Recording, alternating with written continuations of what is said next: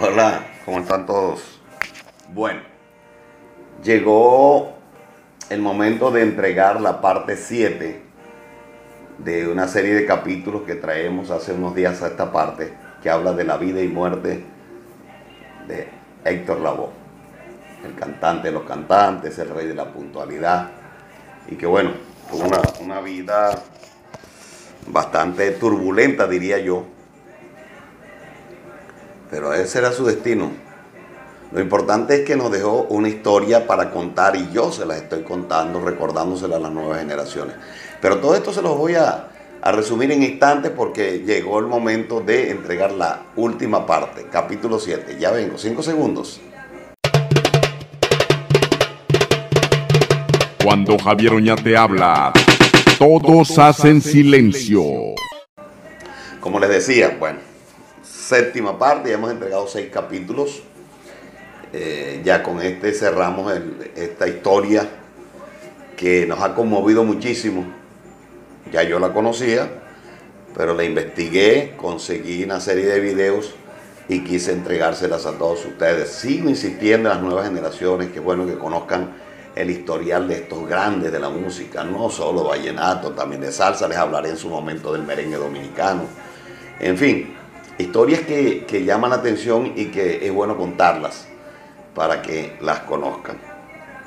Prepárense porque ya tengo casi listo eh, la historia, o conozcamos más bien la vida musical del pulmón de oro Poncho Zuleta. Será después de esta parte 7 de Héctor Lavoe. Espero les haya gustado estas historias de Héctor Lavoe. Seguiré contándoles historias.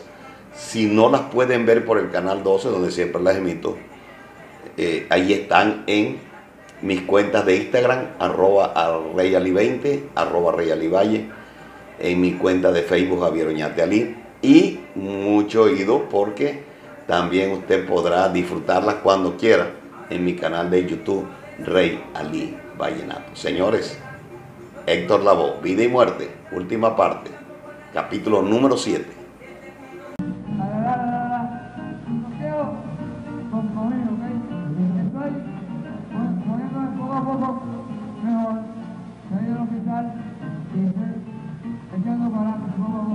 Yo eh, quisiera que se le diera un tiempo a Héctor para que él pudiera dar lo que ustedes esperan de él.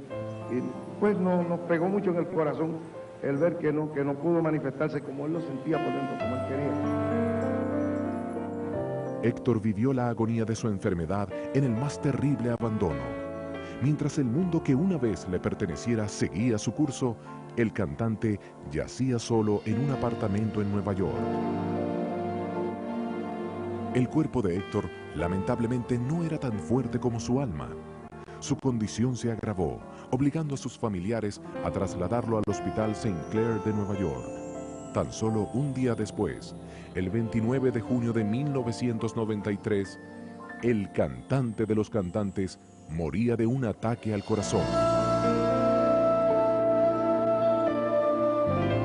Al regreso, el público que le adoró en vida despide a Héctor a un solo son.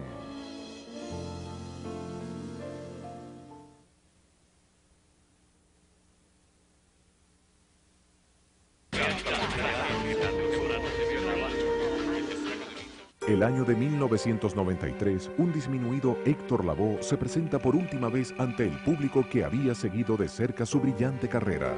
Ese mismo año, el 29 de junio, y luego de vivir en el más terrible abandono, su voz dejó de sonear. Héctor Lavoe moría en un hospital de Nueva York. Entre salsa y guaracha, su gente le despedía con un canto en la voz.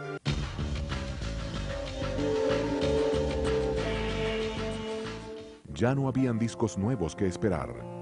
Esa multitud alegre y festiva que fue su público lo acompañó al son de su música. Ismael Miranda, amigo y compañero, entonó las últimas palabras en su honor.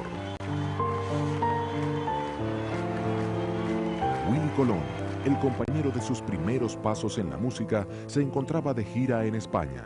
Estaba tocando en Sevilla y estaba en el camerino cuando me lo dijeron y no tuve tiempo, tuve que salir a cantar Y yo creo que en el medio de una de las canciones me, me dio un taco en la garganta y no podía seguir.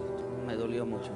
Se había ido el hombre, el chico malo de la salsa, el rey de la puntualidad, el cantante de los cantantes. es el estandarte de, de- de- de toda la, de la- la gente humilde de todos los países latinoamericanos. un talento extraordinario y un, un ser humano rico, una persona con, con mucho corazón, con mucha alma, mucho corazón. Yo creo que dejó mucho, yo creo que, que- Y todavía hay Héctor para mucho. Él no está aquí con nosotros, pero su música sigue, su música vive. Aunque Héctor Lavoe dejó un vacío insustituible en el mundo de la música latina, su pregón aún nos acompaña.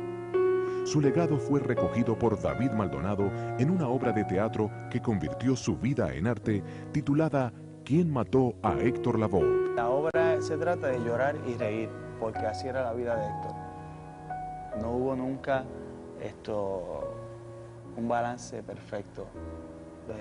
Eso neutral no existió, era o riendo